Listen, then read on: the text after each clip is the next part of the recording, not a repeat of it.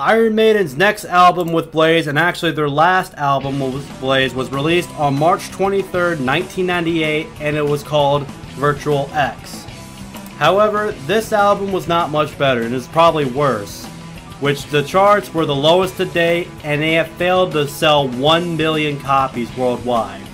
And they only peaked at number 16 in the UK. This album also see, received about the same reviews, negative throughout, and only peaked at the US Billboard at 124.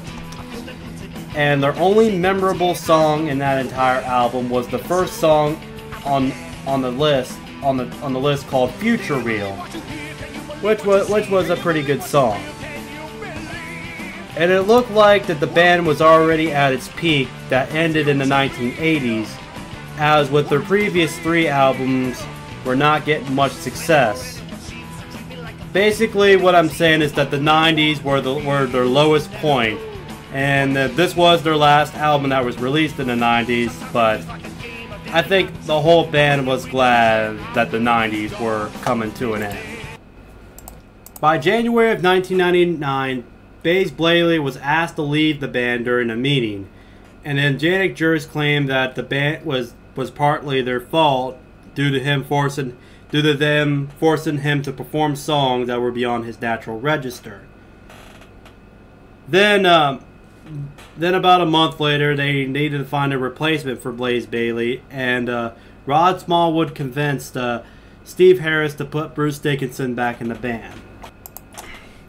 The band entered talks with Bruce Dickinson, and then finally he agreed to rejoin the band in late January of 1999 and, and also a few hours later, uh, ex uh, guitarist Adrian Smith uh, this, uh, decided to rejoin the band as well. And also with uh, Janick Gers, uh, the great thing is he stayed with the band, and now with Iron Maiden have three guitars in their band lineup. Also later in 1999, Nicko McBrain had a change in his life that he converted to Christianity after an experience with a Spanish River church uh, in Florida, after his wife Rebecca had been asking him to attend with her. They also, she claimed that he found Mick, uh, Nicko crying and experienced a calling, recounting that he said, "I sat there thinking, I didn't drink last night. Why can't I stand? I had this love affair with Jesus going into my heart." Next year, a new millennium and a new decade has started. And with as a result, they released their new album on May 29th of 2000 called Brave New World, which they which they had more progressive and melodic sound for a modern audience with also with a keyboard orchestration. This album also brought critical acclaim and brought the band back to its glory years peaked at number 7 at UK's Billboard charts and receiving a gold verification in several countries. The band was finally back on top in commercial success. Following the end of their world tour of Brave New World in March of 2002, they once again took another break before coming back in late 2003 with their 13th studio album. In September 8th of that year, they released the album that was called Dance of Death. Once again, having critical acclaim and also a commercial success like, like Brave New World. And also many critics claim that the release matched up to their earlier efforts such as Killers, Piece of Mind, and Number of the Beast. And of course with this album, they had historical and literacy references were present and in this album, they the UK peaked at number two, and in the US it peaked at number 18, with selling over 100,000 copies in the United Kingdom alone. Following the end of their Dance of Death tour on February 8th of 2004, a year later in, in 2005, they came up with another tour called the Eddie Rips Up that ran from May 28th of 2005 to August 31st of 2005. Um, they had 45 shows, but what the interesting thing about this concert was uh, there was a there was one concert where Ozzy Osbourne's wife Sharon took offense, and uh, they he they placed they placed her family friends in the crowd and sabotaged their performance by throwing eggs, bottle tops, and uh, lighters in front of the audience. Um, they also also the PA system was cut off, and the microphone uh, was uh, also with with the microphone being cut off, and then also sometimes their their power was cut off. Uh, but however, um, the band reportedly played even better as their performance was disrupted. So uh, it wasn't entirely bad, but she has a bad relationship with Bruce Dickinson. By 2006, with already 13 albums released, uh, Iron Maiden never peaked in the top 10 in the United States until this album that was released on August 28th of 2006. That album was called The Matter of Life and Death. Matter of Life and Death basically took another turn with its, with its lyrics, and basically a lot of their songs were about war and religion as well as their cover artwork, with which has uh, which has war in it. The album once again received great critical acclaim um, with all, with most of their songs, and once again it, re- it received over 100,000 copies in the United Kingdom. In the United Kingdom, it peaked at number four in the charts as well with uh, some great songs like Different World, For the Great of Good of God, uh, The Recrimination of Benjamin Breeg, and of course also The Pilgrim. um, yeah, this album was a really good album. It was one, it's one of their more successful albums in their later years. Yeah, just a great album. Following the Matter of Life and Death album, the band decided to take a break from songwriting and uh, created new albums and decided to go through a couple world tours like the Somewhere Back in Time World Tour and Flight 666.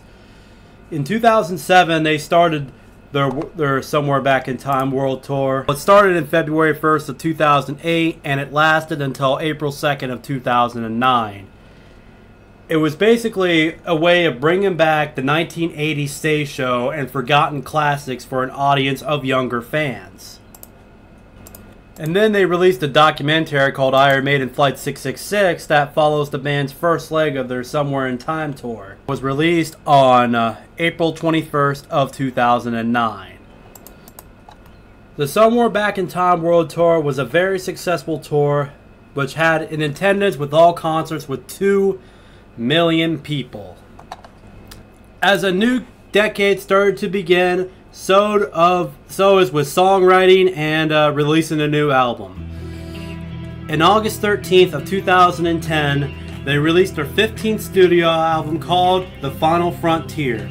Once again, garnered critical acclaim and basically with great commercial success, reaching number one in 28 countries worldwide. Following the Final Frontier album that ended on August 8th of 2011, they uh, went to another tour called the Maiden England World Tour that began on June 21st of 2012. Uh, this tour was like kind of like the Somewhere Back in Time tour in the late 2000s. It was basically uh, the band's 1980s uh, material, basically to show to a younger audience and it was the main focus was the 1988 album of the seventh son of a seventh son. Like Somewhere Back in Time, this this tour was also a great success, with performing 100 shows from June 21st, 2012 to July 5th of 2014. Several months after the uh, Maiden of England tour, in early 2015, Bruce Dickinson went several weeks of chemotherapy therapy and radiation therapy for tumors that were found in the back of his tongue. However, May 15th of that year, he was given an all clear by his specialist. And by later in that year, in September 4th of 2015, they released their 16th and final album to date called The Book of Souls. The Book of Souls was once again still they are still in critical acclaim for their new stuff. And uh, the great thing is about this album, it was their first album where they peaked into the top five on the chart. In the US Billboard, they peaked at number four, while peaking at number one in uh, tons of other countries, and receiving a platinum and uh, and also with a few countries as well. This album was a great was also a great success, as well as their world tour in support of that album, which started in February 24th of 2016 and ended July 22nd of 2017. Still, this day is a very successful tour, having many sellout concerts during the tour. Following the Books of, of Souls tour, they uh, they are currently on a they are currently on a new tour called Legacy of the Beast World Tour that began on May 26th of 2018 and is still ongoing. And, but they announced that was, that was going to end on October 15th of 2019. Basically, it was a it was a history hits tour once again. Uh, as as of today, they are still successful and they are still performing the concerts really well, even though all the people in the band are in their early 60s. So, um, that's Iron Maiden, people. And throughout their throughout their time, they were nominated for 39 awards, and awards they've won, they've won 29 total awards. So, um, with Iron Maiden, I highly recommend them. If you're a heavy metal fan, then you'll definitely love how Iron Maiden is. They're very cool. They have a great style. They're uh, they have a lot of great songs throughout their time, especially during their 80s time. It's a great band to check out. They are still active today, and you can still go to one of their concerts. So, yeah, I give Iron Man an A plus on their performance. Thank you guys. Uh, that's all I have for you. And if you please hit that subscribe button if you want to do more music history. Anyways, guys, I'm Start McCleary. Thanks for watching, and I hope you enjoy the new series. Peace.